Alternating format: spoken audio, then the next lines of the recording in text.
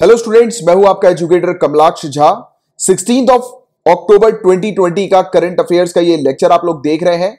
Guys इस lecture में हम लोग सभी सोर्सेज से न्यूज़ को कवर करते हैं। आपने इस लेक्चर को अगर एक बार एंड तक देख लिया तो आपको किसी भी सोर्स से करंट अफेयर्स को प्रिपेयर करने की आवश्यकता नहीं होती है। एंड यहाँ पर जनरल स्टडीज़ के टॉपिक्स भी हम लोग साथ में लिंक करते हुए कवर करते हैं पूरी चीज़ों को। एंड अगर आप सिविल सर्विसेज़ की तैयारी कर रहे हैं तो आपके लिए मैंडेटरी है इस पूरे लेक्चर को एंड तक देखना। यहाँ पर प्रिलिम्स और मेंस दोनों पॉइंट ऑफ़ व्यू से न्यूज़ को कवर किया जाता है। इंग्लिश हिंदी दोनों में न्यूज़ कवर की जाती है। एंड जिस प्रकार से सिविल सर्विसेज़ में GS paper one two three four हम लोग को देखने को मिलता है तो यहाँ पर उसी के अकॉर्डिंग हम लोग न्यूज़ को भी कवर करते हैं। देख सकते हैं, ये पेपर टू और पेपर थ्री के कुछ टॉपिक्स जो आज हम लोग डिस्कस करने वाले हैं।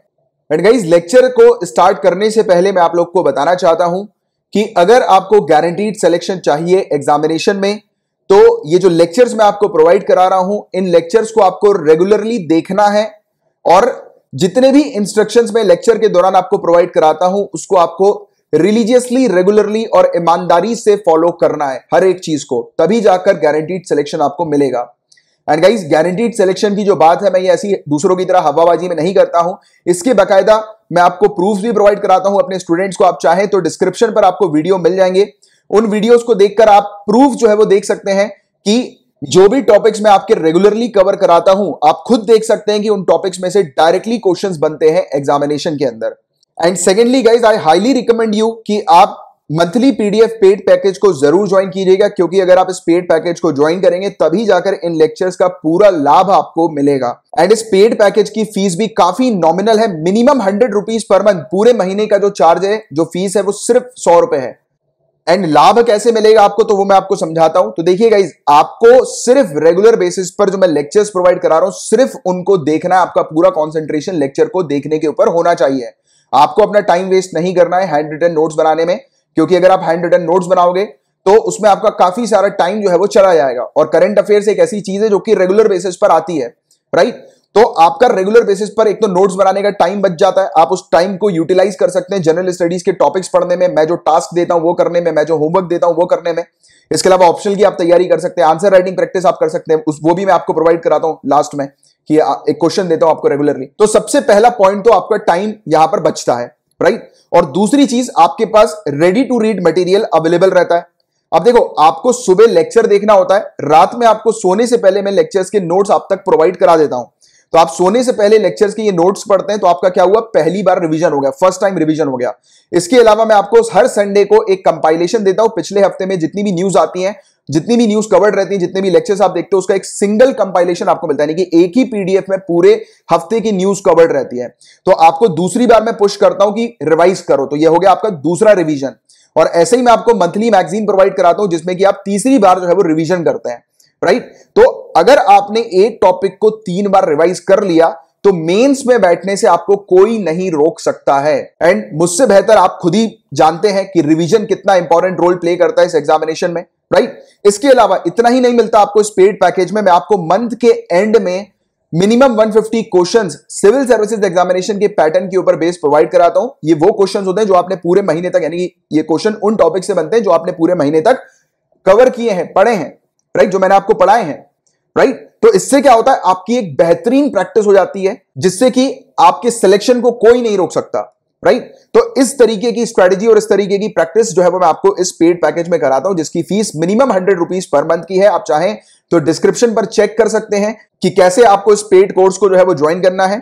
एंड गाइज़ आप पहले लेक्चर देखिएगा। अगर आप नए आए हैं तो पहले लेक्चर देख लीजिए। अगर मैं जो आपको समझा रहा हूँ, वो अगर आपको समझ में आ रहा है अच्छे से आपकी अंडरस्टैंडिंग बिल्डअप हो रही है तो चैनल को सब्सक्राइब कर लीजिएगा एंड बेल आइकन पे भी ज़रूर हिट कीजिएगा। और सेम नाम से टेलीग्राम पर भी एक चैनल है, जिसको आप ज्वाइन कर सकते हैं। एंड अगर आप फेसबुक पर हैं तो आप मेरे नाम कमलाक्ष झा को सर्च करके मुझे ऐड भी कर सकते हैं। गाइज़ आज से आप लोगों के लिए एक नया इनिशिएटिव मैंने शुरू किया है। इसमें थोड़ा सा और ज़्यादा टाइम अब मुझे इन्वेस्ट करना पड़ रहा है ये आपके लिए लेक्चर बनाने के लिए बट मैंने सोच लिया है कि मैं अपनी तरफ़ से जो है वो बहुत टाइम इन्वेस्ट करूँगा। और आपको best to best content provide कराऊँगा। आज से आपको ऐसा कंटेंट मिलने वाला है कि जिसको देखने के बाद आप कोई भी टॉपिक को भूलोगे ही नहीं। और ये टॉपिक आपके लंबे समय तक आपके माइंड में फ़ीड रहेगा। ये गाइज़ इसमें मैंने स्लाइड जो है वो अब आपके लिए आज से इंटरेक्टिव बना दी है। क्योंकि मेनली जो जैसा अगर देखा जाए कि सिविल सर्विसेज़ का भी जो यूपीएससी प्रीलिम्स था तो उसमें यह चीज़ तो क्लियर हो गई थी कि यूपीएससी ने बता दिया था कि अब से आपको करंट अफेयर्स जो ट्रेडिशनल तरीके से आप पढ़ते आ रहे हो अब से आपको वैसा नहीं पढ़ना है। आपको करंट अफेयर्स की एक अच्छी इन डेप्थ जानकारी होनी ज़रूरी है। और इन डेप्थ का मतलब नहीं है कि आप लेंदी बिल्कुल पढ़ रहे हो पीएचडी कर रहे हो उस टॉपिक में। नहीं आपको स्मार्टली पता होना चाहिए कुछ कुछ एरियाज़ के बारे में।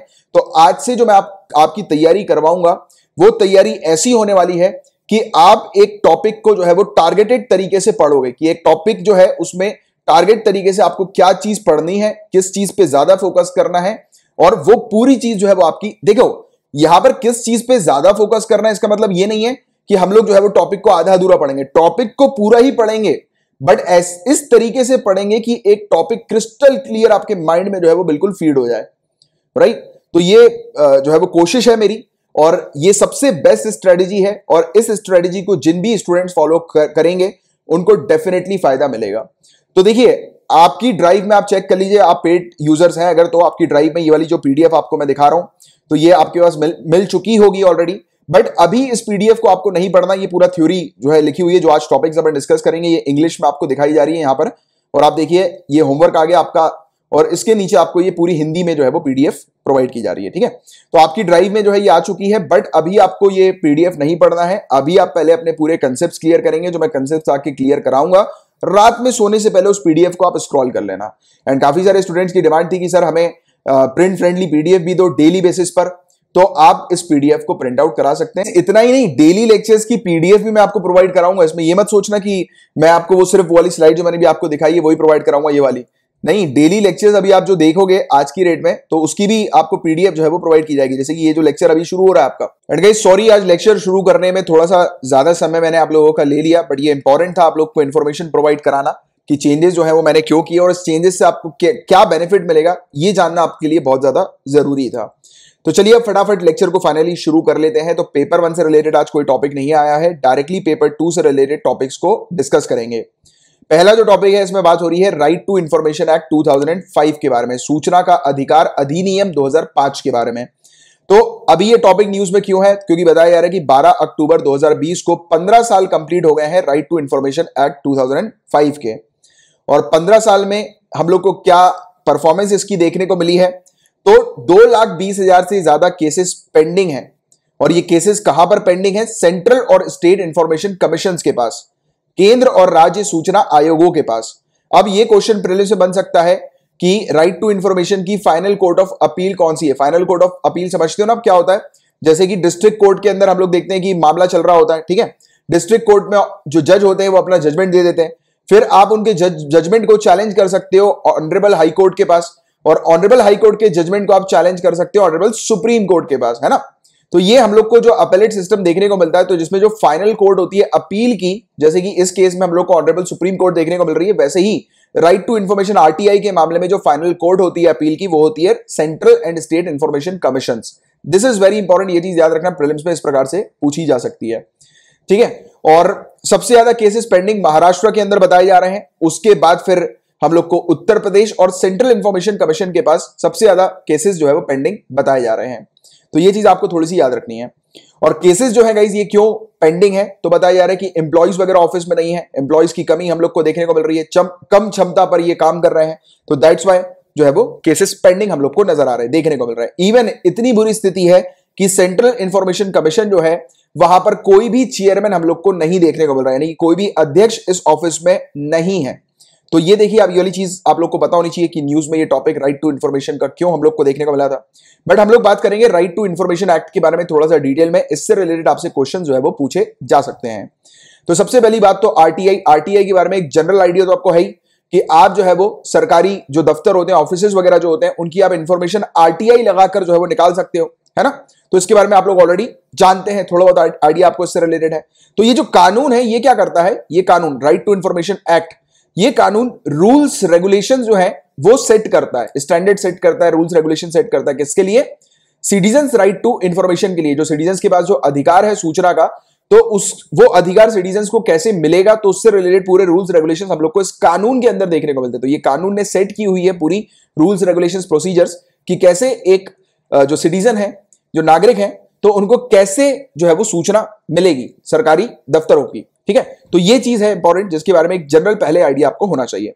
अच्छा आरटीआई ने किसको रिप्लेस किया था? तो इससे पहले एक और कानून हुआ करता था, जिसका नाम था फ्रीडम ऑफ़ इंफॉर्मेशन एक्ट 2002 सूचना की स्वतंत्रता अधिनियम 2002 तो इसको रिप्लेस किया है आरटीआई ने। राइट क्वेश्चन ये बन सकता है आरटीआई क्या फंडामेंटल राइट है या कॉन्स्टिट्यूशनल राइट है? तो आपको आइडिया होना चाहिए कि आरटीआई जो है वो एक फंडामेंटल राइट है। एक केस हुआ था 1976 में, Raj Narayan versus state of Uttar Pradesh. हालाँकि केस का नाम आपको याद रखने की आवश्यकता नहीं है।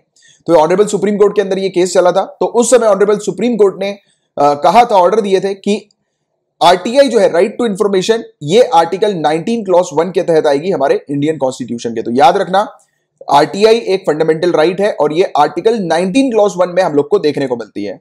अब मेरा आपसे एक क्वेश्चन है सिंपल सा फंडामेंटल राइट आपने पढ़ा ही होगा, अगर नहीं पढ़ा है तो आपको पढ़ना ही है, काफ़ी इंपॉर्टेंट टॉपिक्स है। फंडामेंटल राइट तो थरोली आपको रटे हुए होना चाहिए। तो आर्टिकल 19 आप मुझे बताइए कि क्या कहता है फंडामेंटल राइट का। तो नीचे कमेंट बॉक्स पर इसका आंसर दीजिएगा। इसके अलावा यह कानून यह भी बताता है कि सेंट्रल और स्टेट लेवल पर इंफॉर्मेशन कमिश्नर जो है वो अपॉइंट किए जाने चाहिए। तो appointment of information commissioner at central and state level के बारे में भी ये कानून जो है वो बताता है। तो ये वाली चीज़ भी आपको थोड़ी सी पता होनी चाहिए। अच्छा एक और इंपॉर्टेंट बात कि अगर एक सिटीजन आरटीआई लगाते हैं तो कितने दिनों में जो है उनको जवाब मिलेगा? तो आरटीआई एक टाइम बाउंड प्रोसेस है, याद रखिएगा। एप्लीकेशन का जवाब अधिकारियों को 30 दिन के अंदर अंदर देना अनिवार्य है मैंडेटरी है। तो ये कानून में लिखा हुआ है। थर्टी डेज़ का क्लॉज याद रखिएगा प्रिलिम्स में बन सकता है। अच्छा एक और इंपॉर्टेंट चीज़, अगर कोई एक ऐसी इंफॉर्मेशन जो कि लाइफ और लिबर्टी से रिलेटेड हो एक पर्सन के राइट तब उस समय पर 48 घंटे के अंदर अंदर भी एप्लीकेशन जो है एप्लीकेशन का जवाब मिल सकता है। तो देखिए मैक्सिमम पीरियड अगर कोई पूछे तो 30 डेज़ मिनिमम पीरियड अगर क्वेश्चन में आता है तो 48 आवर्स मात्र दो दिन के अंदर अंदर भी जवाब मिल सकता है। अगर एक स्टेटमेंट लिखा हुआ आ जाए कि क्या आरटीआई में दो दिन के अंदर जवाब मिल सकता है? हाँ राइट क्योंकि इस क्लॉज के अलावा आपको ये वाली चीज़ भी अच्छी से क्लियर रहनी चाहिए, ठीक है? तो ये चीज़ याद रखना आप। आगे की बात। एक और चीज़ है यहाँ पर कि अगर एप्लीकेशन जो है वो असिस्टेंट पब्लिक इंफॉर्मेशन ऑफिसर के पास चली जाती है असिस्टेंट पीआईओ के पास चली जाती है या फिर अगर किसी दूसरी पब्लिक अथॉरिटी के पास चली जाती है एप्लीकेशन तब उस समय इसमें पाँच दिन और ऐड कर दिया जाएगा तीस दिन में और अड़तालीस घंटे में। फाइव डेज़ और ऐड कर दिया जाएगा अगर किसी गलत ऑफिसर के पास ये एप्लीकेशन चली जाती है तो राइट तो ये वाली चीज़ भी आपको थोड़ी सी पता होनी चाहिए एक, एक तरह का एक्सटेंशन है ठीक है पीरियड का थर्टी डेज़ का एक्सटेंशन और फोर्टी एट आवर्स का एक्सटेंशन फाइव डेज़ से हम लोग को देखने को मिलता है प्लस फाइव आपको याद रखना है। अच्छा किसके अगेंस्ट आरटीआई लगाई जा सकती है? तो मैंने अभी आपको बताई दिया था और आपको थोड़ा बहुत आइडिया है कि सरकारी दफ्तरों में ये आरटीआई लगाई जाती है। तो ये आरटीआई की जो ऑफिशियल वेबसाइट है, इससे मैंने ये वाला स्क्रीनशॉट आपके लिए निकाला है। तो इसमें बकायदा लिखा है फाइल्ड बाय इंडियन सिटीजन तो एक चीज़ हमें क्लियर हो गई कि ये सिर्फ़ इंडियन सिटीजन के द्वारा ही आरटीआई फ़ाइल की जाती है। ठीक है तो ये वाली पॉइंट याद रखना आप। ठीक है इंडियन सिटीजन के द्वारा। सभी जितनी भी मिनिस्ट्रीज और डिपार्टमेंट्स हम लोग को देखने को मिलते हैं और सेंट्रल गवर्नमेंट की दूसरी पब्लिक अथॉरिटी जो हम लोग को देखने को मिलती है तो उनके अगेंस्ट जो है वो आरटीआई लगाई जाती है। ऐसा ही स्टेट गवर्नमेंट के लिए होता है बट इस जो ये वेबसाइट जो मैंने निकाली थी, इस वेब ये वेबसाइट जो थी वो सेंट्रल गवर्नमेंट के अगेंस्ट फ़ाइल करने वाली थी है बट स्टेट गवर्नमेंट की अपनी अलग वेबसाइट होती है, ठीक है? तो याद रखिएगा स्टेट गवर्नमेंट जो है उसके अंदर भी जितनी भी पब्लिक अथॉरिटीज हैं उनके अगेंस्ट जितनी भी मिनिस्ट्रीज और डिपार्टमेंट्स है, उनके अगेंस्ट आरटीआई लगाई जा सकती है। यानी कि आरटीआई लगा के उनकी जानकारी जो है वो ली जा सकती है। ठीक है तो ये चीज़ आप लोग के लिए थोड़ी सी ज़्यादा इंपॉर्टेंट है, ये इस पर थोड़ा ध्यान देना। अच्छा पहले जब ये कानून जब आया था तब उस समय 2013 तक पॉलिटिकल पार्टीज़ की भी इंफॉर्मेशन आरटीआई के थ्रू निकाली जा सकती थी। बट इसको अमेंड किया गया और 2013 के बाद से पॉलिटिकल पार्टी इसमें कवर नहीं की जा रही है। यानी कि आप पॉलिटिकल पार्टी की इंफॉर्मेशन आज की डेट में जो है वो नहीं निकाल सकते आरटीआई लगा के तो ये भी एक इंपॉर्टेंट क्लॉज है जिसके बारे में पता होना चाहिए। और ये भी पता होना चाहिए कि पहले ये क्लॉज था पॉलिटिकल पार्टी जिसमें पहले एडेड थी, इसको हटा दिया गया 2013 से। इसके अलावा 13 नवंबर 2019 को वेरी इंपॉर्टेंट ये वाली चीज़ आपको पता ही होनी चाहिए करंट अफेयर्स में है।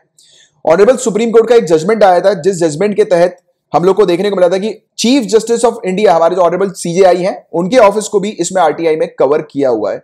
तो याद रखिएगा, अब से सीजेआई भी आरटीआई के अंदर हम लोग को देखने को मिलता है, यानी कि सीजेआई की इंफॉर्मेशन अब आरटीआई लगा के निकाल सकते हो सीख कर सकते हो राइट कुछ प्रोविज़न हम लोग देखेंगे यहाँ पर, ठीक है, ये हिंदी में भी लिखा हुआ बोला, जहाँ जहाँ पर मुझे ज़रूरत लग रही है कि आपको हिंदी में भी कंटेंट प्रोवाइड कराना है तो मैंने यहाँ पर भी हिंदी में प्रोवाइड किया नहीं तो फिर ऐसा मत बोलना कि जो हिंदी मीडियम से तैयारी कर रहे हैं स्टूडेंट्स कि सर आपने पूरा इंग्लिश में लिखा है। बिल्कुल नहीं लिखा इंग्लिश में पूरा। ऐसी चीज़ें यहाँ पर आपके लिए हिंदी में भी प्रोवाइड की जा रही है, जो कि आप जो है वो इजिली समझ पाए। जैसे कि कई बार इंग्लिश में चीज़ों को समझना थोड़े थोड़ा सा मुश्किल हो जाता है हिंदी मीडियम के स्टूडेंट्स के लिए। हालाँकि मैं पूरी चीज़ आपके लिए डिकोड कर रहा हूँ बट जहाँ पर मुझे ज़रूरत पड़ रही है, वहाँ पर मैं आपके लिए यहाँ पर देखिए आप हिंदी में भी पूरी चीज़ अवेलेबल करा रहा हूँ, ठीक है? मेरा फोकस यह है कि आप इस लेक्चर को सिर्फ़ अपनी अंडरस्टैंडिंग कंसेप्ट को क्लियर करने पे ही इन्वेस्ट करें। कुछ पढ़ने के लिए नहीं, कुछ लिखने के लिए नहीं, सिर्फ़ बस देखो, सुनो अंडरस्टैंडिंग क्रिएट करो। रात में आप आपके पास पीडीएफ आ चुकी होगी। रात में जो है वो आप पीडीएफ से पढ़ लो नोट्स में आपको प्रोवाइड करो और वो पढ़ना ज़रूर, तभी फ़ायदा मिलेगा यार। ठीक है? तो चलो इसके प्रोविजंस को देख लेते हैं, मुख्य प्रावधान को देख लेते हैं आरटीआई एक्ट के। तो आरटीआई एक्ट का सेक्शन फोर धारा चार क्या कहता है? धारा चार ये कहता है कि पब्लिक अथॉरिटी जो है, उसको इंफॉर्मेशन देना ज़रूरी है। अगर आरटीआई के तहत इंफॉर्मेशन मांगी जाती है तो इंफॉर्मेशन डिस्क्लोज करना ज़रूरी है। Secondly section eight clause one इसका क्या कहता है? तो देखो, एक चीज़ याद रखना। आरटीआई के तहत सभी इंफॉर्मेशन नहीं दी जाती है। इसमें एग्जेम्पन भी हम लोग को देखने को मिलते हैं। और सेक्शन एट क्लॉज टू इसी के साथ हम लोग को यह कहता है कि जो भी इंफॉर्मेशन ऑफिशियल सीक्रेट्स एक्ट 1923 के तहत एग्जेम्प्ट की गई है तो वो पूरी इंफॉर्मेशन जो है वो डिस्क्लोज की जा सकती है। मतलब ऐसी इंफॉर्मेशन नहीं देना है जो कि पब्लिक इंटरेस्ट के खिलाफ हो। राइट जो भी ऑफिशियल सीक्रेट एक्ट 1923 के अंदर कवर्ड नहीं है एग्जेम्प्टेड है वो इंफॉर्मेशन हम लोग दे सकते हैं। क्योंकि देखो, अब जैसे कि हमारा कोई मिशन है सीक्रेट मिशन है, अगर हम किसी मिशन पे काम कर रहे हैं तो उसकी इंफॉर्मेशन तो डिस्क्लोज नहीं कर सकते ना, भले कोई भी आरटीआई आ जाते हो। जैसे कि आप कल को आईपीएस बनते हो और आप किसी सीक्रेट मिशन पर काम कर रहे हो राइट अब आरटीआई लगाई गई आपके मिशन के बारे में जानकारी देने के लिए तो आप क्या दोगे क्या? नहीं, क्योंकि ये तो देश की सिक्योरिटी के लिए खतरा हो सकता है है ना? तो जो लार्जर पब्लिक इंटरेस्ट को जो इंफॉर्मेशन सर्व करती है, वो यहाँ पर प्रोवाइड की जाएगी और जो पब्लिक इंटरेस्ट के खिलाफ जो चीज़ हम लोग को देखने को मिलती है तो वो चीज़ जो है वो नहीं की जाएगी, ठीक है? यानी कि पब्लिक इंटरेस्ट को खतरा है, हमारी जो बॉडीज है उनके लिए खतरा है, कोई हम मिशन पे काम करें, जो मैंने भी आपको एग्ज़ाम्पल दिया ऐसा। तो जो भी पर्टिकुलर जो कॉन्फिडेंशियल इंफॉर्मेशन होती है, वो नहीं प्रोवाइड की जाती बट हाँ लार्जर पब्लिक इंटरेस्ट वाली इंफॉर्मेशन दे दी जाती है। और जो ऑफिशियल सीक्रेट एक्ट के तहत जो है वो एग्जेप्टेड है। और देखिएगा इस ऑफिशियल सीक्रेट एक्ट के बारे में पढ़ लीजिएगा, मैंने 24 सितंबर 2020 के लेक्चर में 24 मिनट 43 सेकंड पे आपको ये टॉपिक पढ़ाया था। आपको सिंपली यूट्यूब के जो सर्च कॉलम है ना, वहाँ पर जब ये वीडियो पूरा एंड कर लो, देख लो तो उसके बाद यूट्यूब के सर्च कॉलम पे लिख लो, कहीं भी आपने तो भूल जाओगे। यूट्यूब के सर्च कॉलम पे लिख लेना 24 सितंबर 2020 उसके आगे मेरा नाम लिख लेना, कमलाक्ष। तो जो भी लिस्ट में पहला वीडियो आएगा सर्च लिस्ट में, वो वीडियो अपना ही होगा ये वाला। इस वीडियो के 24 मिनट्स 43 सेकंड पे चले आना मैंने ऑफिशियल सीक्रेट्स एक्ट आपको डिटेल में एक्सप्लेन किया हुआ है पढ़ाया हुआ है तो देख लीजिएगा उसको आप जाके, ठीक है? तो ये, इसकी एक जानकारी आपको एक इन जनरल इन प्रोविज़न से रिलेटेड भी होनी चाहिए, ठीक है? तो ये आरटीआई से रिलेटेड पूरा टॉपिक था बट हाँ अपन एक और इंपॉर्टेंट चीज़ के बारे में डिस्कशन करेंगे। एक अमेंडमेंट बिल आया था, जो कि ऑलरेडी पास हो गया है, राज्यसभा के अंदर पिछले साल ही पास हो गया था right to information amendment bill 2019 इस बिल के अंदर आपको मेनली तौर पर क्या चीज़ें जाननी है? तो देखो, यहाँ पर चीफ इंफॉर्मेशन कमिश्नर जो है, उनका जो टेन्योर है टर्म जो है, वो पहले पाँच साल का हुआ करता था। अभी जो अमेंडमेंट बिल आया था, उसमें इस टर्म को जो है कहा गया है कि सेंट्रल लेवल पर यह डिसाइड किया जाएगा स्टेट और सेंट्रल लेवल पर कि इंफॉर्मेशन कमिश्नर जो होते हैं, उनका कितना टेन्योर होगा, यानी कितने साल तक जो है वो ऑफ़िस पे रहेंगे। तो वो डिसाइड करेगी अब सेंट्रल और स्टेट गवर्नमेंट पहले फिक्स था पाँच साल, ठीक है? तो ये चीज़ याद रखना, ये चेंजेस लाएगा। इसके अलावा सैलरी को लेकर भी एक क्लॉज था सिंपल सी चीज़ याद रखना कि जो सेंट्रल इंफॉर्मेशन कमीशन है, उसके अंदर जो हम लोग को चीफ इंफॉर्मेशन कमिश्नर देखने को मिलते हैं और इंफॉर्मेशन कमिश्नर्स देखने को मिलते हैं, उनकी सैलरी इक्वलेंट होगी सेंट्रल इलेक्शन कमीशन की मतलब उनके इक्वलेंट हम लोग को देखने को मिलेगी। यानी कि जितने भी सेंट्रल चीफ इलेक्शन कमिश्नर होते हैं और इलेक्शन कमिश्नर होते हैं तो उनकी जितनी सैलरी होती है, उतनी ही सैलरी सेंट्रल इंफॉर्मेशन कमीशन के ऑफिशियल्स की होगी। यानी कि चीफ इंफॉर्मेशन कमिश्नर और इंफॉर्मेशन कमिश्नर्स के इक्वलेंट होगी। तो ये पहले हुआ करता था। अब इसको हटा दिया गया। अब सैलरी और अलाउंसेस जो होगा इन ऑफिसर्स का, वो सेंट्रल गवर्नमेंट डिसाइड करेगी। ठीक है? तो ये चीज़ आपको थोड़ी सी पता होनी चाहिए। सैलरी के अंदर जो डिडक्शन होते हैं तो उसको जो है वो हटा दिया गया है, सैलरी के अंदर के डिडक्शन को। तो सिर्फ़ इतनी सी चीज़ आपको पता होनी चाहिए। वेरियस डिडक्शन वगैरह हम लोग को सैलरी के अंदर देखने को मिलते थे तो वो इतना इंपॉर्टेंट नहीं आपके लिए याद रखना। बट ये दो चीज़ जो है, वो आपको, आपके लिए थोड़ा सा जानना ज़रूरी था कि दो के जो कानून जो था, उसके अंदर क्या चीज़ें थी और क्या चेंजेस जो है वो इस नए कानून में हम लोग को देखने को मिल रहा है। यानी कि जो अमेंडमेंट बिल जो आया है, उसमें हम लोग को देखने को मिल रहा है, जो कि राज्यसभा से ऑलरेडी पास हो गया है। ठीक है? तो ये था पूरा ओवरऑल टॉपिक जिसकी एक अच्छी आपको जानकारी होनी चाहिए। अब नेक्स्ट टॉपिक में बात हो रही है वर्ल्ड कॉटन डे के बारे में, विश्व कपास दिवस के बारे में और कस्तूरी कपास, कस्तूरी कॉटन के बारे में। तो ये दोनों टॉपिक्स हम लोग देखते हैं। सबसे पहली चीज़ तो वर्ल्ड कॉटन डे कब ऑब्ज़र्व किया जाता है तो याद रखना सात अक्टूबर दो बीस को भी रिसेंटली ऑब्ज़र्व किया गया था और हर साल सात अक्टूबर को ये ऑब्ज़र्व किया जाता है। और ये दूसरा हम लोग को वर्ल्ड कॉटन डे देखने को मिला था। पिछले साल ही 2019 में ही ये शुरू किया गया था वर्ल्ड कॉटन डे को मनाना। एक्चुअली में हुआ क्या था? वर्ल्ड ट्रेड ऑर्गेनाइजेशन में हम लोग को देखने को मिला था कि चार कंट्रीज़ जिनको कॉटन फोर के नाम से जाना जा रहा है, ये चार कंट्रीज़ जो है, इनका नाम क्या है? बेनिन बुरकीना फासो छार्ड और माली अब फटाक से मैं आपको टास्क दे रहा हूँ, आपके दीवार में जो आप जहाँ पर आप पढ़ाई करते हो, वहाँ पर दीवार में एक वर्ल्ड मैप तो होगा ही, बड़ा सा। अगर नहीं है तो चिपका लेना तुरंत ले, लाकर ठीक है? जाओ जल्दी वर्ल्ड मैप के पास जाओ और फटाफट ये चार कंट्रीज़ को लोकेट करो। ठीक ठीक है कि कहाँ कहाँ पर ये चार कंट्रीज़ हैं? तो देखो ये कॉटन फोर ये चार कंट्रीज़ हम लोग को देखने को मिली थी जिन्होंने कंसर्न रेस किए थे। किस किससे रिलेटेड कंसर्न रेज किए थे? ये कपास से रिलेटेड राइट इन्होंने बोला था कि जो कॉटन इंडस्ट्री जो है और कॉटन ट्रेड जो है उसमें रिफॉर्म लाना चाहिए राइट वेरियस जो भी प्रॉब्लम्स जो भी इश्यूज़ कॉटन इंडस्ट्री फेस कर रही है उनको टैकल किया जाए। क्योंकि कॉटन जो है गाइज़ एक ऐसी चीज़ हम लोग को देखने को मिलती है, जिससे कि काफ़ी सारे फार्मर्स की लाइवलीहुड डिपेंडेंट रहती है। यानी कि काफ़ी सारे फार्मर जो है, उनका जो जीवन है, इस कॉटन के कारण कॉटन की खेती के कारण, कपास की खेती के कारण जो है वो चलता है। और काफ़ी सारी इंडस्ट्री भी इससे एसोसिएटेड हम लोग को देखने को मिलती है। तो यहाँ पर ये चीज़ कही गई कि जितने भी इश्यूज़ है कॉटन इंडस्ट्री से रिलेटेड और जो कॉटन ट्रेड का जो रिफॉर्म है वो किया जाए तो उसके बारे में यहाँ पर चर्चा की गई। कंसर्न जो है वो रेज किया इन चार कंट्रीज़ ने। तो इसीलिए इनको कॉटन फोर के नाम से ये इस इनिशिएटिव को जाना जाता है। ठीक है? और उसी समय ये वर्ल्ड कॉटन डे जो है वो लेकर आए आए थे ये। यानी कि घोषित किया था कि वर्ल्ड कॉटन डे सात अक्टूबर को ऑब्ज़र्व किया जाएगा। राइट तो इसके बारे में एक अच्छा आपको आइडिया होना चाहिए। और ऑब्जेक्टिव यही था यहाँ पर कि पहले तो जो कॉटन की जो इंपॉर्टेंस है, उसको रिकॉग्नाइज करना कि पिछहत्तर से ज़्यादा कंट्रीज़ पाँच कॉन्टिनेंट्स के अंदर ये कॉटन का जहाँ पर कल्टीवेशन होता है। और कॉटन के कारण जो है वो काफ़ी सारे लोगों को जॉब्स मिलती है। एक तो फार्मर्स के बारे में आपको बताई बताया कि फार्मर्स की लाइवलीहुड उसके ऊपर डिपेंडेंट रहती है। साथ ही साथ इंडस्ट्रीज़ वगैरह में जॉब्स मिलती है। अब कॉटन के कारण टेक्सटाइल्स वगैरह हम लोग को देखने को मिलता है। टेक्सटाइल का बिज़नेस वगैरह आपको पता होगा। राइट कपड़े हम लोग पहनते हैं ना। तो ये पूरी ओवरऑल चीज़ कितने सारे लोग इसके ऊपर डिपेंडेंट है? तो जॉब क्रिएशन ये करती है। तो इसीलिए कॉटन इज़ वेरी इंपॉर्टेंट तो उसी को लेकर ये पूरा यहाँ पर आ, हम लोग को डिस्कशन वगैरह देखने को मिला था और उसी समय पे ये वर्ल्ड कॉटन डे जो है वो डिसाइड किया गया। कस्तूरी कॉटन बहुत ज़्यादा इंपॉर्टेंट है। ये देखो आप ये लोगो आपको दिखाई दे रहा है। ये अभी लोगो रिलीज़ हुआ है, पहला ब्रांड और लोगो इंडियन कॉटन का। ये लॉन्च हुआ है, जिसको हम लोग कस्तूरी कॉटन के नाम से जान रहे हैं। इसको मिनिस्ट्री ऑफ़ टेक्सटाइल्स के द्वारा लॉन्च किया गया है।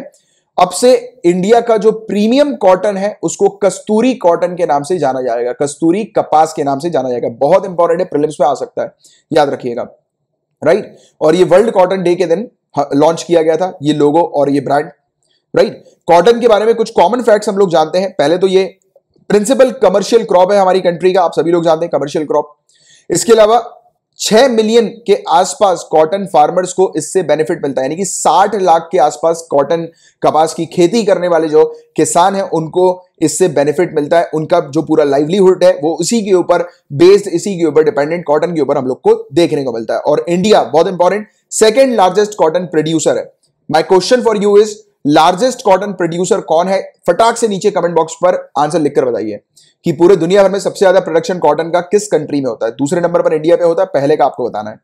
और सबसे बड़े कंज्यूमर है हम लोग कॉटन के इंडिया के मतलब पूरी दुनिया के अंदर सॉरी पूरी दुनिया में हम लोग सबसे ज़्यादा कंज्यूम करते हैं कॉटन को राइट इसके अलावा एक मोबाइल एप्लीकेशन भी है, जिसका नाम है कॉट एली ये डेवलप किया था कॉटन कॉर्पोरेशन ऑफ़ इंडिया के द्वारा सीसीआई के द्वारा, जो कि लेटेस्ट न्यूज़ प्रोवाइड कराएगी वेदर कंडीशन क्रॉप सिचुएशन और बेस्ट फार्म प्रैक्टिसेस से रिलेटेड कि वेदर कैसा आ रहा है तो फार्मर्स को बेसिकली मदद करेगी, जिससे कि वो बेटर तरीके से कॉटन क्रॉप जो है वो कल्टीवेट कर सकें right right?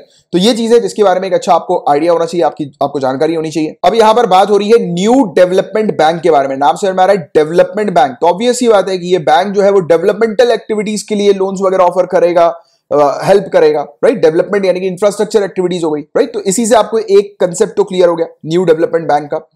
Asian development bank के बारे में कल ही आपको याद रहा अपन ने डिस्कस किया था पढ़ा था। तो आज हम लोग न्यू डेवलपमेंट बैंक के बारे में चर्चा कर रहे हैं। ये बैंक किसके द्वारा ऑपरेट किया जाता है? ब्रिक्स कंट्रीज़ के द्वारा। ब्रिक्स यानी कि Brazil Russia India China South Africa ये पाँच कंट्रीज़ के द्वारा है ये बैंक ऑपरेट किया जा, जाता है। और ये आइडिया इस बैंक का सामने आया फिफ्थ ब्रिक समिट में, जो कि डुरबन साउथ अफ्रीका में हम लोग को देखने को मिली थी 2013 में। तो 2013 में इसका आइडिया इमर्ज हुआ कि एक इस प्रकार का बैंक बनाना चाहिए, जो कि ये पाँच कंट्रीज़ को जो इमर्जिंग इकोनॉमीज है, इनको सपोर्ट कर सके, है ना? उसके बाद नेक्स्ट ईयर 2014 में इस बैंक को स्टैब्लिश कर दिया, ब्राज़ील के अंदर जब छठी ब्रिक्स समिट हम लोग को देखने को मिली थी, उस समय इसको स्टैब्लिश कर दिया गया। ये टॉपिक बैंक का न्यूज़ में क्यों हम लोग को देखने को मिल रहा है? क्योंकि इंडिया के अंदर 741 million US dollar infrastructure projects के लिए ये प्रोवाइड कराएगा। और हेडक्वार्टर इस बैंक का कहाँ पर है? याद रखना, शंघाई, चाइना में इस बैंक का हेडक्वार्टर हम लोग को देखने को मिलता है। इस बैंक के अंदर जो मेंबर्स होते हैं, यानी कि जो पाँच कंट्रीज़ हैं तो इन कंट्रीज़ के पास वोटिंग पावर किस कंट्री के पास कितनी ज़्यादा, जैसे कि अपन ने कल ही चर्चा करी थी एशियन डेवलपमेंट बैंक में, कि और वर्ल्ड बैंक में भी सेम इक्वली जैसे हम लोग वर्ल्ड बैंक की अगर बात करें तो वर्ल्ड बैंक के अंदर और एशियन डेवलपमेंट बैंक के अंदर वोटिंग स्ट्रक्चर कैसा होता है? जैसे कि ये पाँच मान लेते पाँच मेंबर्स हैं ठीक है? इन पाँच मेंबर ने जितना पैसा उस बैंक में इन्वेस्ट किया होगा डाला होगा राइट उसका सब्सक्रिप्शन कैपिटल जितना रखा होगा उस बैंक के अंदर तो उस हिसाब से जो है आ, सामने वाली कंट्री को जो है वो वोटिंग पावर दी जाती है। यानी कि वोटिंग पावर इक्वलेंट नहीं होती है। वोटिंग पावर जो होती है वो अनइक्वल होती है। वो डिपेंड करती है कि किसने कितना पैसा उस बैंक के अंदर रखा है। यहाँ पर वोटिंग पावर इक्वल है। तो याद रखना न्यू डेवलपमेंट बैंक में वोटिंग पावर इक्वल है। वर्ल्ड बैंक में अनइक्वल है, वो कैपिटल के ऊपर बेस्ड होती है। सेम एशियन डेवलपमेंट बैंक के अंदर भी कैपिटल के ऊपर बेस्ड ही कैपिटल सब्सक्रिप्शन के ऊपर बेस्ड ही वोटिंग पावर जो है वो तय की जाती है। बट यहाँ पर इक्वल है। बहुत इंपॉर्टेंट पॉइंट है प्रिलिम्स में आ सकता है, ठीक है? तो ये चीज़ याद रखना कि यहाँ की वोटिंग पावर इक्वल है। इक्वल वोटिंग है। वर्ल्ड बैंक और एशियन डेवलपमेंट बैंक की तरह बिल्कुल भी नहीं है। कल ही अब मैंने आपको डिस्कस किया था, पढ़ाया था। यहाँ पर वीटो पावर भी नहीं है। अब वीटो पावर का मतलब क्या होता है, मैं आपको ईजी तरीके समझाता हूँ। जैसे कि आप ये देखो, ठीक है? एक, दो, तीन। ये तीन लोग हैं, ठीक है? ये तीन लोग हैं। अब इन तीन लोगों में से एक को इधर जाना है और एक को इधर जाना है, ठीक है? अब कौन किधर जाएगा तो ये कैसे डिसाइड होगा तो इन तीनों ने बोला, चलो वोटिंग करते हैं। ठीक है? अगर, अब वोटिंग करने का मतलब हम क्या सोचते हैं कि मेजोरिटी जिसकी होगी तो उसकी जीत होगी, ठीक है? जैसे कि ये दोनों लोग जो है वो इस तरफ़ जाना चाह रहे हैं, ठीक है? इन दोनों ने वोटिंग कर दी, इधर जाना है, बट ये मना कर रहा है। अब अगर वीटो पावर नहीं होता तो ऑब्वियस ही बात है मेजोरिटी के ऊपर बेस ये पूरा डिसीज़न प्ले करता। बट अगर वीटो पावर है यहाँ पर, मान लेते हैं हम लोग कि इन तीनों में वीटो पावर है इनके पास तो वीटो पावर का मतलब होता है कि अगर इसने मना कर दिया ना कि इधर नहीं जाना है तो ऐसा नहीं कि इधर जाएँगे, वो डिसीज़न लैप्स हो जाएगा, ये दोनों यहीं पे खड़े रहेंगे, यानी कि तीनों यहीं पे खड़े रहेंगे। जैसे कि पी फाइव कंट्रीज़ में हम लोग को देखने को मिलता है। पी फाइव नेशन जो है उनके पास वीटो पावर है कि कोई भी डिसीज़न होता है, उन पाँच कंट्रीज़ में कोई भी अगर कंट्री अगर वीटो पावर को जो है वो अपना यूज़ कर लेती है तो वो जो भी डिसीज़न होता है, वो लैप्स हो जाता है। तो वीटो पावर का मतलब ये होता है कि सभी की सहमति होनी चाहिए, ठीक है? सभी अगर चाहेंगे तभी कोई डिसीज़न जो है वो एग्री किया जाएगा, वरना वो डिसीज़न लैप्स हो जाएगा। तो ये वीटो पावर्स में होता है। बट यहाँ पर कोई भी ऐसी वीटो पावर नहीं है, यानी कि मेजोरिटी के ऊपर बेस ये डिसीज़न ले सकते हैं, ठीक है? तो ये भी कंसेप्ट आप अच्छे से क्लियर रखिएगा। इसके अलावा एक और इंपॉर्टेंट चीज़ की जो न्यू डेवलपमेंट बैंक है इसको ऑब्जर्वर स्टेटस भी मिला हुआ है 2018 में यूनाइटेड नेशन जनरल असेंबली का। तो ये चीज़ भी आप लोग को थोड़ी सी पता होनी चाहिए। और ये बैंक किसकी मदद करता है? तो ऑब्वियस ही बात है कि ब्रिक्स कंट्री का ये बैंक है तो ब्रिक कंट्री की ही मदद करेगा ना? ब्रिक्स कंट्री में ही जो है वो ये इस बैंक के थ्रू जो है वो पैसा प्रोवाइड किया जाएगा। ठीक है? तो ये चीज़ आपको थोड़ी सी पता होनी चाहिए। इसके अलावा कैसी मदद होती है? फाइनेंशियल और डेवलपमेंटल डेवलपमेंट नाम से समझ में आ रहा है, जैसे कि इंफ्रास्ट्रक्चर प्रोजेक्ट हो गए। तो इस प्रकार की मदद जो है वो इस बैंक के थ्रू हम लोग को देखने को मिलती है। तो ये था पूरा overall topic new development bank से रिलेटेड और इतनी ही इंफॉर्मेशन सफिशियंट है जो कि आपको पता होनी चाहिए राइट अब इस न्यूज़ की बात करेंगे तो बिहार असेंबली इलेक्शन 2020 इस महीने के एंड में शुरू हो जाएँगे और उम्मीद की जा रही है कि यहाँ पर बहुत सारे अब ऐसे सिंबल्स हम लोग को पार्टी के देखने को मिलेंगे। तो ये पार्टी सिंबल से रिलेटेड ये टॉपिक है, चुनाव चिन्हों से रिलेटेड ये हम लोग को टॉपिक देखने को मिल रहा है और ये पार्टी के जो चिन्ह वगैरह होते हैं ना मतलब ये सिंबल्स वगैरह जो हम लोग को देखने को मिलते हैं। तो अब सबसे पहली चीज़ तो इस प्रकार के जो सिंबल्स होते हैं, उनकी क्या आवश्यकता होती है? पार्टी चिन्हों की क्या आवश्यकता होती है? तो नॉर्मल सी बात है अपन ये पार्टी के चिन्ह को देखकर, यानी कि जो वोटर्स है, ये पार्टी के चिन्ह चिन्ह को देखकर उन, उनके लिए इजी हो जाता है ये पता लगाना कि ये फलाना जो सिंबल है वो किस पार्टी का है। तो पार्टी को रिकॉग्नाइज करने के लिए ये सिंबल जो है वो बनाए जाते हैं। फ़र्स्ट पॉइंट सिंपल सा। तो ये बस पता होना चाहिए, बस आपको ऑलरेडी पता है अपन लोगों को, ठीक है? दूसरा यह है कि ये अनरिकॉग्नाइज पार्टीज़ जो होती हैं, गैर मान्यता प्राप्त दल जो होते हैं और स्वतंत्र उम्मीदवार, जिसको निर्दल भी हम लोग कहते हैं, निर्दल लड़ते हैं ना कुछ लोग इलेक्शन वगैरह, निर्दलीय इलेक्शन लड़ते हैं, ऐसा बोलते हैं हम लोग राइट जो इंडिपेंडेंट कैंडिडेट्स होते हैं राइट तो उनको एक दूसरे से अलग करने में मदद करते हैं ये सिंबल्स तो ये वाली चीज़ बस आपको पता होनी चाहिए। अब गई आप देखिए, यहाँ पर आपको पुराना ओल्ड फॉर्मेट जो है वो याद आ गया होगा राइट तो देखिए, मैं यहाँ पर ऐसा नहीं है कि आप लोगों को बिल्कुल ही टोटली पूरी चीज़ जो है वो चेंज कर रहा हूँ।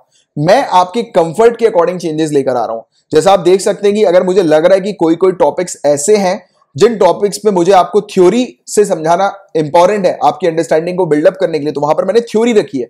बट जहाँ पर थ्योरी की आवश्यकता नहीं है, सिर्फ़ आपके कंसेप्ट को बिल्ड करना है अगर मुझे तो फिर मैं वहाँ पर कोशिश करिए कि थ्योरी ना रखूँ। और मेरा फोकस यही कि मैं कम से कम आपके सामने थ्योरी लेकर आऊँ थ्योरी रखूँ, जिससे कि आप ज़्यादा से ज़्यादा जो है वो चीज़ों को ग्रैप्स कर पाओ, ठीक है?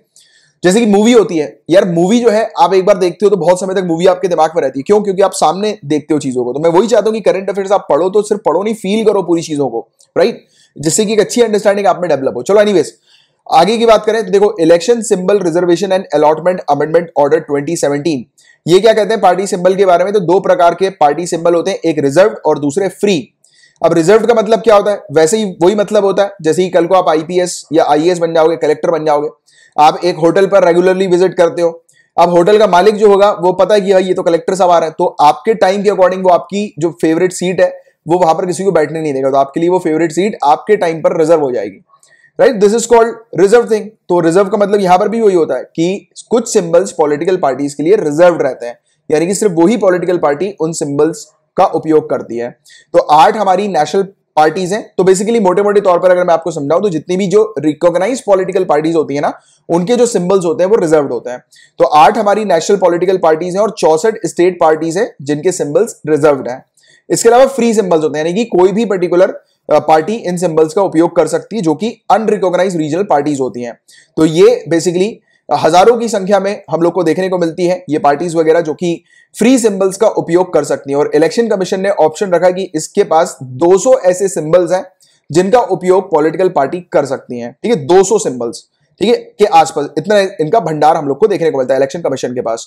अब ये सिंबल जो है वो कैसे अलॉट किए जाते हैं पार्टीज़ को? तो जो गाइडलाइंस हम लोग को देखने को मिलती है उसके आधार पर सिंबल जो है वो पार्टी या कैंडिडेट को इलेक्शन कमीशन प्रोवाइड कराती है, फ़र्स्ट पॉइंट ये याद रखना। दूसरा पॉइंट किस, क्या प्रोसेस होती है पूरी? तो जो पार्टी या कैंडिडेट है, इसको इलेक्शन कमीशन ने जो ये 200 की लिस्ट बताई थी ना, मैंने भी आपको बताया नियरली 200 हम लोग को देखने को मिलता है फ्री सिंबल्स होते हैं। तो इलेक्शन कमीशन की ये 200 की लिस्ट है, इन 200 की लिस्ट में एक पॉलिटिकल पार्टी या कैंडिडेट को टोटल तीन जो है सिंबल्स निकाल के रखने होते हैं, ठीक है? तीन चूज़ करने होते हैं और तीन में से, तीन चूज़ करने के बाद ये इलेक्शन कमीशन को देती है और इलेक्शन कमीशन इन तीन में से एक सिंबल को जो है ये पार्टी को अलॉट कर देते हैं। और ये जो सिंबल्स का अलॉटमेंट होता है, ये first come first serve basis के ऊपर होता है। पहले आओ, पहले पाओ बेसिस के ऊपर हम लोग को देखने को मिलता है राइट तो ये वाला प्रोविज़न आपको पता होना चाहिए। इसके अलावा अगर कोई रिकॉग्नाइज पॉलिटिकल पार्टी जैसे कि एक पॉलिटिकल पार्टी है, अब ये पॉलिटिकल पार्टी जो है, वो दो में अगर स्प्लिट हो जाती है, आपको पता वो स्प्लिट होती है पॉलिटिकल पार्टीज़ है ना? तो एक पॉलिटिकल पार्टी जब दो में स्प्लिट होती है तो उस बीच कौन सी पॉलिटिकल पार्टी को कौन सा सिंबल मिलेगा, ये भी डिसाइड करने वाली जो फाइनल अथॉरिटी होती है, वो हमारी इलेक्शन कमीशन होती है। तो बहुत इंपॉर्टेंट चीज़ है ये। प्रीलिम्स पर्सपेक्टिव से याद रखना इलेक्शन कमीशन की पावर्स के बारे में। तो election symbols reservation and allotment order 1968 ये पावर देता है इलेक्शन कमीशन को कि इलेक्शन कमीशन पॉलिटिकल पार्टीज़ को रिकॉग्नाइज कर सकते हैं और इनको सिंबल्स अलॉट कर सकते हैं। और इसके पैराग्राफ 15 में भी लिखा है कि कोई भी अगर डिस्प्यूट होता है पॉलिटिकल पार्टीज़ के बीच में तो वो डिस्प्यूट्स पर फाइनल जो अथॉरिटी होगी डिसीज़न देने वाली वो इलेक्शन कमीशन होगी। और इसी चीज़ को 1971 में एक बार चैलेंज किया था Sadiq Ali and others versus election commission of India हालाँकि केस इज़ नॉट इंपॉर्टेंट तो उस समय भी ऑनरेबल सुप्रीम कोर्ट ने इस चीज़ पर हामी भरी थी कि इलेक्शन कमीशन ही final authority decision making authority होनी चाहिए, ठीक है? और और हम लोग को देखने को मिलती है। तो इस चीज़ के बारे में आपको एक जानकारी होनी चाहिए थी। और ये था पूरा ओवरऑल टॉपिक जिसके बारे में अपन ने डिस्कस किया। अब इस न्यूज़ में बात हो रही है गुजरात डिस्टर्ब एरियाज़ एक्ट के बारे में। तो अभी ऑनरेबल प्रेसिडेंट ने एसेंट दे दिया है इस कानून को। पिछले साल एक बिल लाया गया था अमेंड किया जा रहा था एक बिल को 1991 के बिल को अमेंड किया जा रहा था, जिसको डिस्टर्ब एरिया एक्ट के नाम से जाना जाता है। इस बिल का पूरा नाम पहले मैं आपको बता देता हूँ। The Gujarat prohibition of transfer of immovable property and provision for protection of tenants from eviction from premises in disturb areas act 1991 ये कानून क्या कह रहा है? तो उसको इजी तरीके से कानून के नाम से ही समझा देता हूँ मैं आपको। इमूवेबल प्रॉपर्टी कौन सी होती है? जैसे कि ये घर, ठीक है? ये घर है। एक व्यक्ति इस घर को दूसरे व्यक्ति को नहीं बेच सकता। और कहाँ पर होना होगा घर तो ऐसा ऐसा प्रोविज़न आएगा तो ये डिस्टर्ब एरिया में होगा घर तो ऐसा प्रोविज़न आएगा। यानी कि आज की रेट में आप जिस भी क्षेत्र पर रह रहे हो, और अगर आप डिस्टर्ब एरिया पे नहीं रह रहे हो तो आप अपने घर को अपनी मन मर्ज़ी के तहत किसी को भी बेच सकते हो। बट जो डिस्टर्ब्ड एरियाज़ होते हैं, वहाँ पर एक घर को, जो घर का मालिक होता है, वो अपनी मन मर्ज़ी के तहत दूसरों को घर नहीं बेच सकता, ठीक है? पहला पॉइंट तो ये प्रोहिबिशन है। बैन किया है ट्रांसफ़र ऑफ़ इमूवेबल प्रॉपर्टी को। और दूसरा प्रोविज़न किन के लिए? टेनेंट्स टेनेंट्स कौन होते हैं? किराएदार होते हैं। किराएदार के प्रोटेक्शन के लिए कि उनको कहीं डिस्टर्ब एरिया से निकाला तो नहीं जा रहा, भगाया तो नहीं जा रहा। राइट तो उसको लेकर ये कानून लाया गया था। अब सबसे पहली कंसेप्ट तो आपको यह क्लियर करना चाहिए डिस्टर्ब एरिया कौन से एरियाज़ होते हैं? तो गाइज़ ऐसे एरिया जहाँ पर दंगे फसाद होने की हिस्ट्री होती है। यानी कि ऐसे एरिया पर जहाँ पर पास्ट में हिस्ट्री में दंगे वगैरह हुए हों। तो ऐसे एरिया जो होते हैं, वो डिस्टर्ब एरिया होते हैं। और डिस्टर्ब एरिया जो है, वो किसके द्वारा चूज़ किए जाते हैं कि, यानी कि ये फलाना एरिया जो है, वो डिस्टर्ब एरिया होगा। तो आने वाले समय पे जब आप कलेक्टर बनोगे, तब आप अपनी डिस्ट्रिक्ट के अंदर एक किसी भी एरिया को घोषित कर सकते हो एज अ डिस्टर्ब्ड एरिया किस चीज़ को देखते हुए? कि पास्ट में अगर उस क्षेत्र पर अगर दंगे हुए हैं और रेगुलरली उस क्षेत्र पर दंगे जैसी स्थिति बनती रहती है, तब वो क्षेत्र और कौन से दंगे? कम्युनल राइट्स कम्युनल यानी कि जाति आधार पर, धर्म आधार पर जो दंगे वगैरह हम लोग को देखने को मिलते हैं। तो ऐसे अगर दंगे किसी क्षेत्र पर आपके डिस्ट्रिक्ट पे होंगे, जब आप कलेक्टर की पोस्ट पे होंगे, तब आप एक क्षेत्र को जो है वो डिस्टर्ब एरिया घोषित कर सकते हैं। तो याद रखिएगा डिस्टर्ब एरिया एक्ट के तहत एक कलेक्टर जो होते हैं, वो डिसाइड कर सकते हैं कि कौन सा एरिया एक सिटी के अंदर, एक टाउन के अंदर डिस्टर्ब एरिया जो है वो होगा। राइट तो ये अंडरस्टैंडिंग एक अच्छी क्रिएट करना। अच्छा अब इन्होंने घोषित कर दिया, फिर क्या? घोषित करने के बाद जो भी इमूवेबल प्रॉपर्टी का जो ट्रांसफ़र होता है, वो तभी पॉसिबल होगा जब आप कलेक्टर बनोगे और आप उस दस्तावेज़ पर, उस एप्लीकेशन पर साइन करोगे, तभी यह चीज़ पॉसिबल होगी और जो पूरा एफिडेविट होता है, दस्तावेज़ जो हम लोग को देखने को मिलता है, उस दस्तावेज़ में पूरी इंफॉर्मेशन होती है बायर की भी और सेलर की भी। पूरी इंफॉर्मेशन और दोनों ही एग्री करते हैं कि इन दोनों को फेयर प्राइस मिला हुआ है, यानी कि सही साठ अमाउंट मिल चुका है और ये दोनों अपनी मर्ज़ी से ही, अपनी सहमति से ही घर बेचना चाहते हैं। इनके ऊपर कोई दबाव नहीं दिया जा रहा है घर बेचने के लिए। राइट तो ये वाली चीज़ है। अब ये जो कानून है, ये क्यों इतना इंपॉर्टेंट है? तो देखो गाइज़ एक चीज़ मेरी ध्यान रखना, ये आपके कंसेप्ट क्लियर करने के लिए बहुत ज़रूरी है specially mains point of view से भी। देखो क्या होता है कि कहीं पर दंगे हुए होते हैं और कम्युनल दंगों की बात हो रही है, धर्म के आधार पर दंगों की बात हो रही है, जैसे कि एक कॉमन चलता हुआ एग्ज़ाम्पल हिंदू मुस्लिम की अगर हम लोग बात करें तो हिंदू मुस्लिम धर्म के बीच में ये लड़ाई हम लोग को देखने को मिल रही, ठीक है? अब यहाँ पर ये एक प्रॉपर्टी है, जैसे मान लेते हैं, चलो हिंदू मुस्लिम की बात नहीं करते यार, अपन बात करेंगे धर्म ए और धर्म बी धर्म ए और धर्म बी की लड़ाई हो रही है, यहाँ पर एक प्रॉपर्टी है, ये धर्म बी वाले की है, अब धर्म ए वाला जो है वो नहीं चाहता कि धर्म बी वाला यहाँ पर रहे तो ये गुंडे वगैरह आए, धर्म ए के, और इन्होंने जो है वो इसको निकाल दिया बी को, ठीक है? बी को बोला, हटाओ यहाँ से। और क्या किया? कब्जा कर लिया इसकी प्रॉपर्टी पे।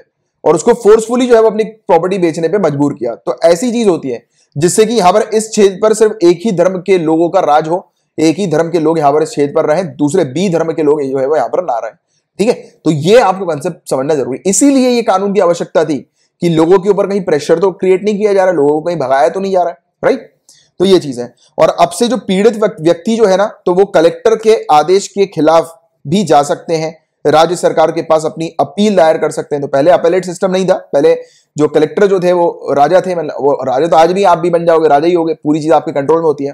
बट इनकी जो एक, यानी कि इनका जो डिसीज़न है, उसको चैलेंज किया जा सकता है स्टेट गवर्नमेंट के पास। राइट तो ये चीज़ भी एक नई अभी आ गई है अमेंडमेंट के अंदर। तो होपफुली आपको ये कंसेप्ट पूरा अच्छे से क्लियर हो गया बट अभी फिनिश नहीं हुआ ये वाला टॉपिक लेटेस्ट अमेंडमेंट जो हुआ है, जिस पर अभी ऑनरेबल प्रेसिडेंट ने एसेंट दिया है तो उस लेटेस्ट अमेंडमेंट में क्या चीज़ों के बारे में बात की जा रही है? तो सबसे पहली चीज़ तो पोलराइजेशन नहीं होगा। पोलराइजेशन को स्टॉप किया गया है। पोलराइजेशन का मतलब यही होता है, जो मैं भी आपको समझाने की कोशिश कर रहा था कि एक क्षेत्र पर जब ग्रुप्स वगैरह जो हम लोग को देखने को मिलते हैं तो एक क्षेत्र दूसरे ग्रुप के ऊपर जब हावी होने की कोशिश करता है तो दैट इज़ कॉल्ड पोलराइजेशन यानी कि डिवीज़न जब हम लोग को देखने को मिलता है कि धर्म के आधार पर, जाति के आधार पर जब ये डिवीज़न होने लगता है ग्रुप्स वगैरह, गुट वगैरह बन जाते हैं तो दैट इज़ कॉल्ड पोलराइजेशन तो इस प्रकार की एक्टिविटी को स्टॉप करना है। और चेक करते रहना है समय समय पर डेमोग्राफिक इम्बैलेंस यानी कि उस क्षेत्र पर मतलब किस कम्युनिटी के, किस रिलीजन के लोग रह रहे हैं, कहीं इम्बैलेंस तो नहीं हो रहा है तो उस चीज़ को चेक करते रहना है। राइट और एक्ट ने बैन क्या किया सेल ऑफ़ प्रॉपर्टी वो मैंने भी आपको समझाया कि एक धर्म का व्यक्ति, एक रिलीजियस कम्युनिटी का व्यक्ति दूसरे रिलीजियस कम्युनिटी के व्यक्ति को प्रॉपर्टी ट्रांसफ़र नहीं कर सकते।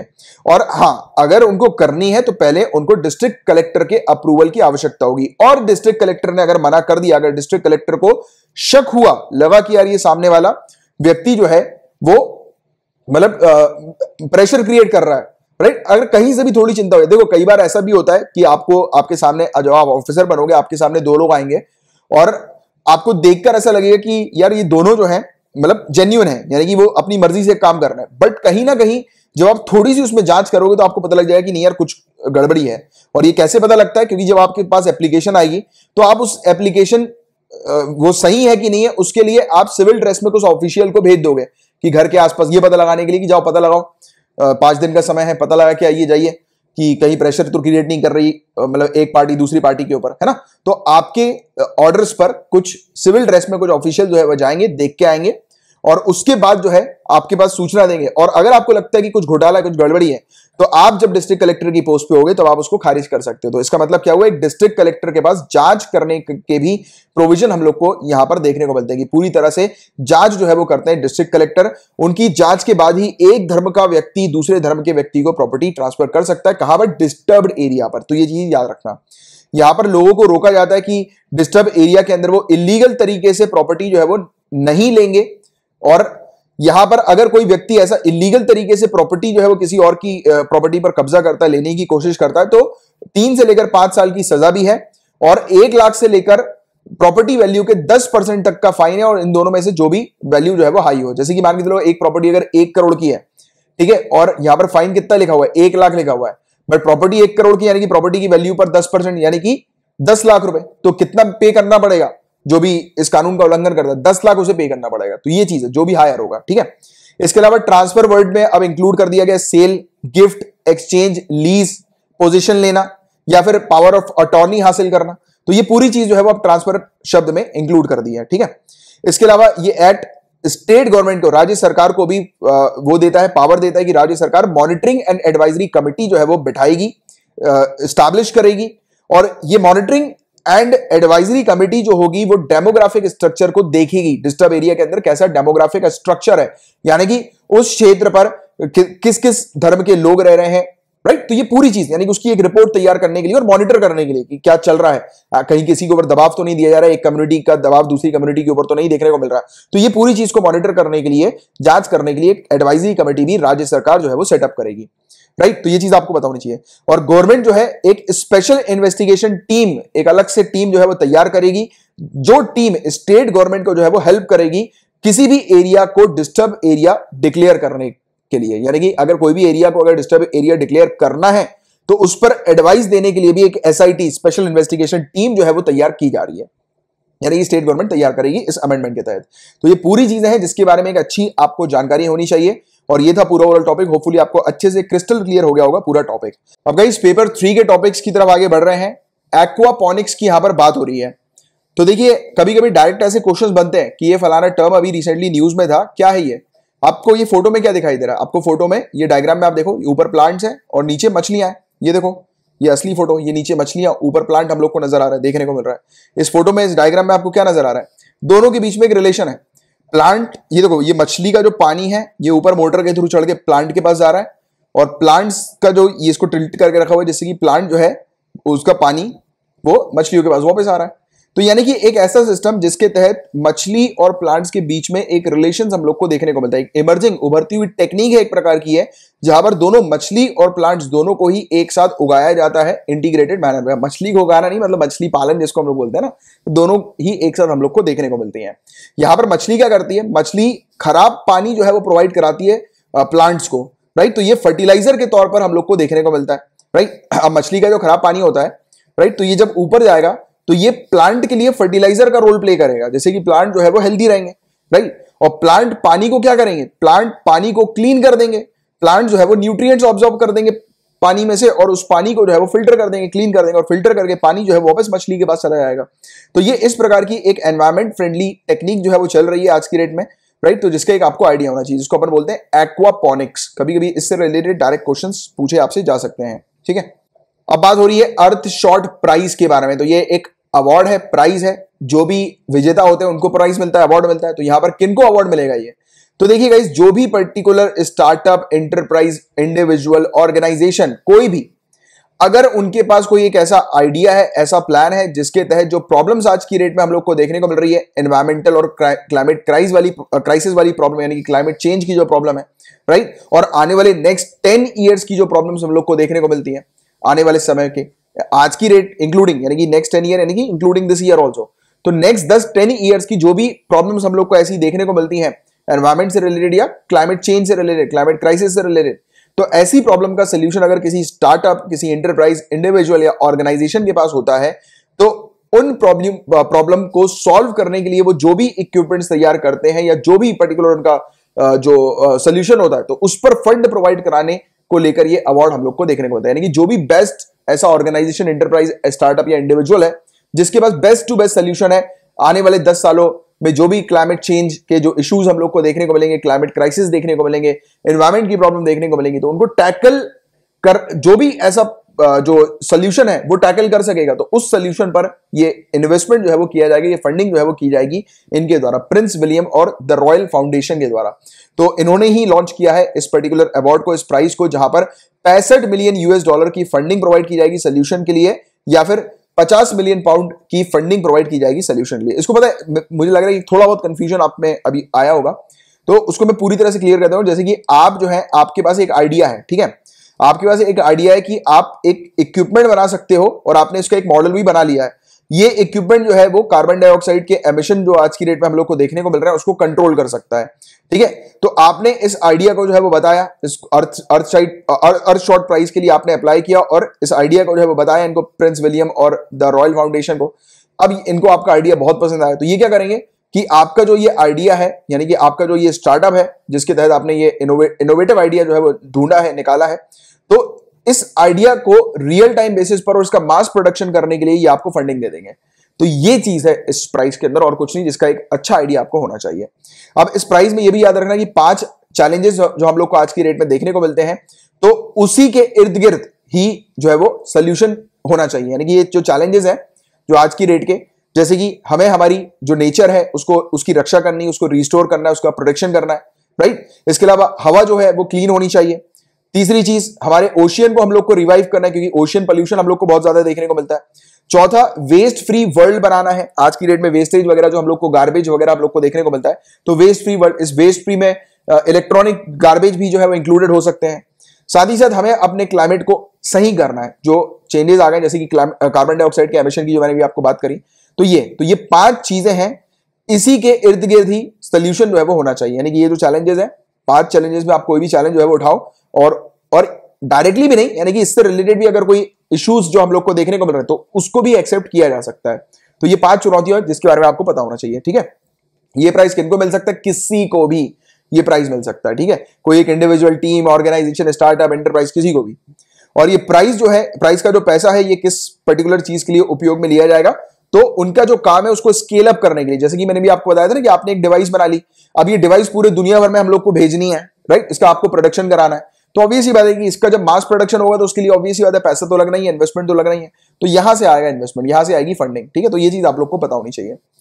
तो ये था पूरा ओवरऑल टॉपिक इससे रिलेटेड अब नेक्स्ट टॉपिक में बताया जा रहा है कि हमारी जो यूनियन होम मिनिस्ट्री है, इन्होंने सभी एनजीओ से कहा है कि वो अब स्टेट बैंक ऑफ़ इंडिया की न्यू दिल्ली ब्रांच में अपना अकाउंट खोल लें, अगर उनको फॉरेन कंट्रीब्यूशन रेगुलेशन एक्ट के तहत फॉरेन कंट्रीब्यूशन बुलवाना है तो। तो देखो, फॉरेन कंट्रीब्यूशन रेगुलेशन एक्ट क्या होता है? तो इसके बारे में अगर आपको पूरा डिटेल में समझना है, अगर आपने नहीं समझा है तो 9 सितंबर 2020 के लेक्चर में चले आना आप। और 16 मिनट 38 सेकंड पे ये पूरा टॉपिक मैंने आपको एक्सप्लेन कराया हुआ है, ठीक है? तो इस टॉपिक को ज़रूर देख लेना। बहुत इंपॉर्टेंट टॉपिक है, लगातार न्यूज़ में आ रहा है।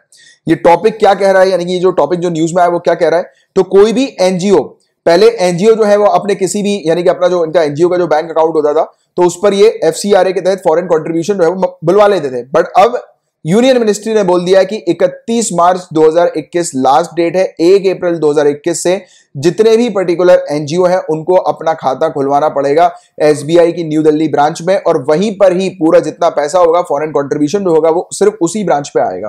राइट तो ये बेटर मॉनिटरिंग पर्पज के लिए ये चीज़ जो है वो की गई क्योंकि कई बार ऐसा होता है ना कि एनजीओ जो है, जो पैसा बुलवा रही है जो कंट्रीब्यूशन इनके पास आ रहा है, उस कंट्रीब्यूशन का वो इलीगल उपयोग करते हैं। तो वो आपको बेटर तरीके से इस टॉपिक को जब आप पढ़ोगे ना तो आपको क्लियर हो जाएगा। मैंने पूरी चीज़ क्रिस्टल क्लियर करी हुई है आप लोगों के लिए। अच्छा नेक्स्ट टॉपिक में फ्लाई एश क्या होती है, इसके बारे में आपको बहुत अच्छे से पढ़ना है। ये टॉपिक भी 19 अगस्त 2020 को कवर कराया हुआ है। छप्पन मिनट पे आप जाओगे इस वीडियो के तो आपको ये फ्लाई एश वाला टॉपिक मिल जाएगा। बहुत इंपॉर्टेंट टॉपिक है, ज़रूर देख लेना। फ्लाई एश से रिलेटेड डायरेक्ट क्वेश्चन इस बार के यूपीएससी सिविल सर्विसेज़ में भी आपसे पूछे गए हैं, ठीक है? तो वो ज़रूर देख लेना आप एक बार जाकर। एनटीपी, अभी ये टॉपिक न्यूज़ में क्यों था? फ्लाई ऐश का। तो एनटीपीसी लिमिटेड जो है, जो कि मिनिस्ट्री ऑफ़ पावर के अंदर हम लोग को देखने को मिलती है तो इन्होंने शुरू कर दिया है। जितनी भी सीमेंट मैन्युफैक्चरर्स जो हम लोग को हमारी कंट्री में देखने को मिलते हैं तो उनके साथ कोलैबोरेट करना शुरू कर दिया है। अब एनटीपीसी क्या करेगी? ये जो सीमेंट इंडस्ट्री है, इनको ये फ्लाई एश प्रोवाइड कराएगी।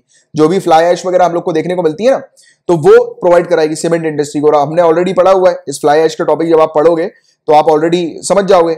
और जिन स्टूडेंट्स ने पढ़ा हुआ है ऑलरेडी तो उनको पता लग गया होगा कि सीमेंट इंडस्ट्री में इसका सबसे ज़्यादा उपयोग में होता है, क्योंकि फ्लाई एश जो है, उसके थ्रू आप सीमेंट बना सकते हो। जो ये फ्लाई एश मतलब ये राख होती है ना, जो जब कोयला जल जाता है तो उसके बाद क्या बचता है? एश बचता है। तो वैसे ही ये मैन्युफैक्चरिंग इंडस्ट्रीज़ वगैरह जितनी भी हम लोग को देखने को मिलती हैं तो वहाँ से जो ये धुआँ वगैरह निकलता है तो उसके साथ ये एश वगैरह भी जो है, ये रिलीज़ होती है। और इस प्रकार से ये हमारी वाटर बॉडीज को एनवायरमेंट को भी खराब करती है।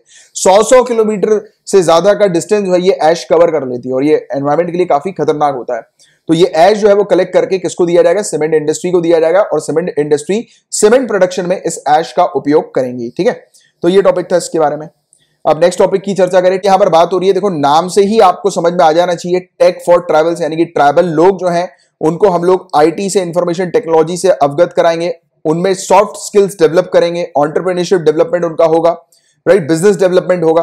तो ये पूरी चीज़ जो हो रही है, वो एक इनिशिएटिव के तहत हो रही है, जिसका नाम है टेक फॉर ट्राइबल इनिशिएटिव इस इनिशिएटिव का मेन एम मेन पर्पस ये है कि ट्राइबल्स जो है उनको एडवांस बनाना राइट उनके अंदर डेवलपमेंट करना वेरियस स्किल्स जो है, वो इनकलकेट करना उनमें राइट तो ये टेक फॉर ट्राइबल का इनिशिएटिव हम लोग को देखने को मिलता है। इस इनिशिएटिव को शुरू किया है लॉन्च किया है ट्राइफेड के द्वारा आईआईटी कानपुर के द्वारा Chhattisgarh minor forest produce federation के द्वारा राइट तो ट्राइफेड यहाँ पर इन्वॉल्व है तो ऑब्वियस बात है, ट्राइफेड जहाँ पर भी इन्वॉल्व होती है, ट्राइफेड का मेन पर्पस ये होता है कि ट्राइबल्स ट्राइबल्स का डेवलपमेंट करना, उनके लाइवलीहुड जो है, वो एनहेंस हो, बढ़िया हो, उनका लाइवलीहुड उनका जीवन अच्छा हो, उनके पास इनकम आए, और ट्राइफेड कैसे इनकम लेकर आती है ट्राइबल पीपल के पास तो ट्राइबल लोग के जितने भी प्रोडक्ट्स होते हैं, अब आपको पता होगा कि ये ट्राइब्स वगैरह जो होती हैं, वो जंगलों में हम लोग को देखने को मिलती हैं, और जंगलों में घूम घूम कर वो बहुत सारे जो वन के, जो फॉरेस्ट के जो प्रोडक्ट्स होते हैं, उनको कलेक्ट करती है।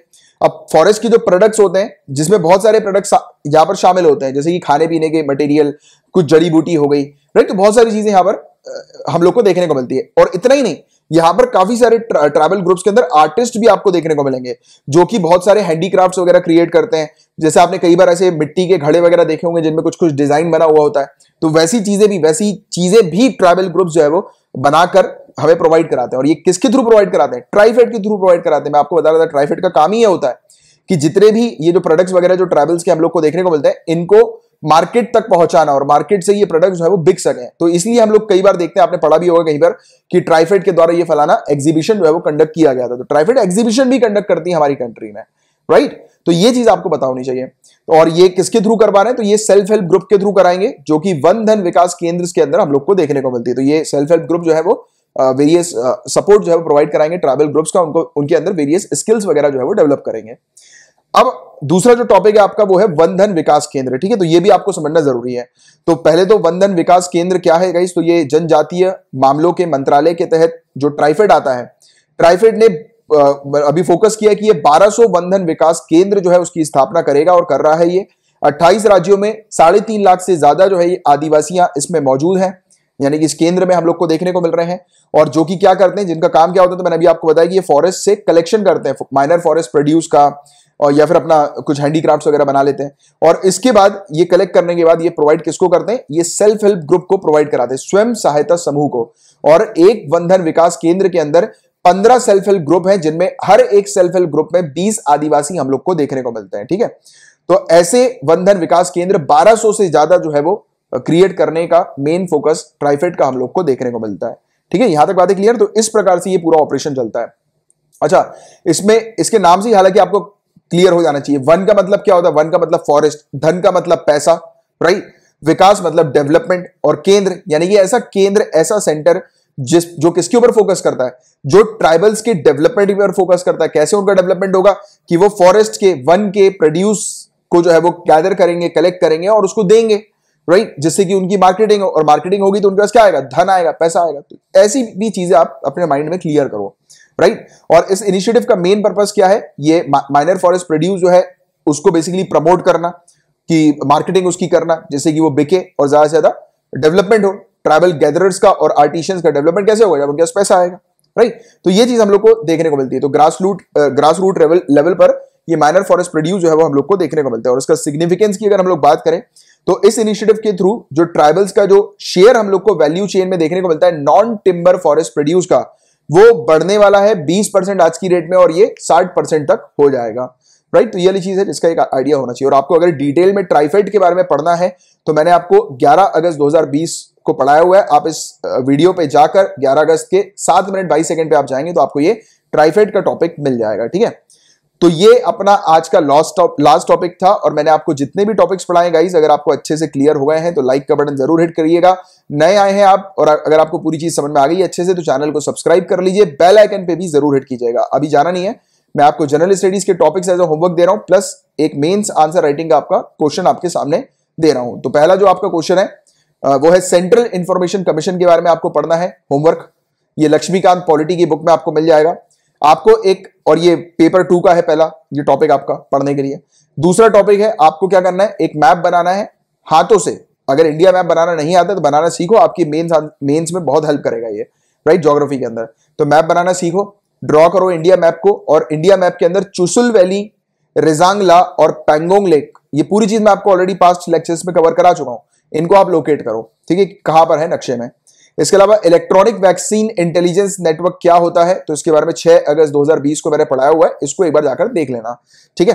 एक घंटा दो मिनट चार सेकंड पे मैं आपको ये मिल जाएगा आपको और इससे रिलेटेड दो चार पॉइंट जो है वो लिख लेना। तो ये तीन टॉपिक्स हैं इन, इनके आपको हैंड रिटन नोट्स बनाने हैं और अगर आप ऐसा कर लेते हैं तो नीचे कमेंट बॉक्स पे लिख देना सर होमवर्क डन मुझे पता लग जाएगा आपने होमवर्क कंप्लीट कर लिया है। अब बात करें आपके मेंस के क्वेश्चन की तो आपका मेंस का क्वेश्चन ये आपके सामने है explain the structure and function of national commission for scheduled tribes in India 120 word में लिखना है, जो हमारी जो शेड्यूल ट्राइब्स है इंडिया के अंदर, उनका स्ट्रक्चर कैसा है और वो किस प्रकार से ऑपरेट करती है। और करंट अफेयर से भी कुछ पॉइंट जो है वो आप लिंक करने की कोशिश करना, ठीक है? तो आप जो है वो एक एक क्वेश्चन जो है वो आपका कंप्लीट होने में एक घंटा लगना चाहिए राइट अभी के लिए। नहीं तो आप बोलोगे, सर, एक घंटे में मतलब अभी एक घंटे में एक क्वेश्चन लिखेंगे तो एग्ज़ाम के दिन क्या होगा? अभी आप प्रैक्टिस कर रहे हो यार। एग्ज़ाम के दिन तो सात मिनट के अंदर अंदर आपको एक क्वेश्चन कंप्लीट हो जाना चाहिए सात मिनट। और प्रैक्टिस जो होगी वो आपकी धीरे धीरे करके आएगी। मैंने एक घंटा इसलिए बोला क्योंकि मैं चाह रहा हूँ कि आप अपना आंसर बेस्ट लिखें। ऐसे ही नहीं कि पेन उठाकर लिखना शुरू कर दिया जो पता है। बेस्ट बनाओ क्योंकि आज बेस्ट आंसर लिखने की कोशिश करोगे आज बेस्ट पॉइंट्स कलेक्ट करोगे तब जाकर वो बेस्ट पॉइंट जो है वो आप मतलब यहाँ पर आ, अपने मेंस वाले दिन जिस दिन आप मेंस लिख रहे होगे उस दिन वॉमिट कर दोगे अपने पेपर पर। ठीक है? तो ये वाली चीज़ है। तो और ये इसका हिंदी में है। भारत में राष्ट्रीय अनुसूचित जनजाति आयोग की संरचना और कार्यों के बारे में बताएँ। 120 वर्ड में। ठीक है? और ये मेंस का आंसर आपको कहाँ पर पोस्ट करना है? तो टेलीग्राम पर अपना एक चैनल है current affairs by Kamalaksh Jha इस चैनल को आप ज्वाइन करेंगे। तो आपको नीचे देखिएगा, जहाँ पर टाइप करते हैं ना टाइप करने का तो ऑप्शन नहीं है इस चैनल पे। तो आपको यहाँ पर कहीं पर नीचे, जहाँ पर टाइप करते हैं, वहाँ पर डिस्कशन ग्रुप करके लिखा होगा डिस्कशन करके लिखा होगा। उस पर क्लिक कर लेना तो आपके सामने ग्रुप खुल जाएगा, जिसका नाम होगा चैट लाइक ब्यूरोक्रेट्स 500 से ज़्यादा उस ग्रुप में स्टूडेंट्स हैं, जो सिविल सर्विसेज़ की तैयारी कर रहे हैं, आप जाइएगा, वहाँ पर अपना आंसर पोस्ट कीजिएगा। जो दूसरे स्टूडेंट्स है, वो आपका आंसर जो है, वो रिव्यू करेंगे। आप दूसरों का आंसर रिव्यू करना। तो ऐसी हेल्दी प्रैक्टिस जो है, वो मैं यहाँ पर कंडक्ट कराता हूँ आपके लिए। राइट मैं तो नहीं कराता, वो बिल्कुल सेल्फ हेल्प प्रैक्टिस है। आप ऐसा बोल सकते हो कि सभी लोग जो है, वो आपस में एक अच्छा एनवायरमेंट क्रिएट करते हैं और इस प्रकार की प्रैक्टिस करते हैं। और मेन आपकी प्रैक्टिस तो आपके घर पर है, यहाँ पर, एक घंटे के समय पर जो मैंने भी आपको बताया। ठीक है तो ये वाली चीज़ आपको बतानी थी, और अगर आप फेसबुक पर है तो आप मेरे नाम को सर्च करके मुझे ऐड भी कर सकते हैं। कमलाक्ष झा मेरा नाम है। एंड मंथली पीडीएफ पैकेज के बारे में स्टार्टिंग में आपको बता दिया है। जनवरी से लेकर जुलाई की अगर आपको पीडीएफ चाहिए, सात महीनों की तो तीन सौ रुपए में इसकी पीडीएफ आपको मिल जाएगी। टोटल तीन सौ रुपए में। और इसके बारे में पूरी इंफॉर्मेशन नीचे डिस्क्रिप्शन पर एक वीडियो बना के मैंने दिया हुआ है तो आप वीडियो देख लीजिएगा, आपको पता लग जाएगा। ठीक है तो चलो अब मिलेंगे हम लोग कल, तब तक लिए bye take care have a great day ahead tata.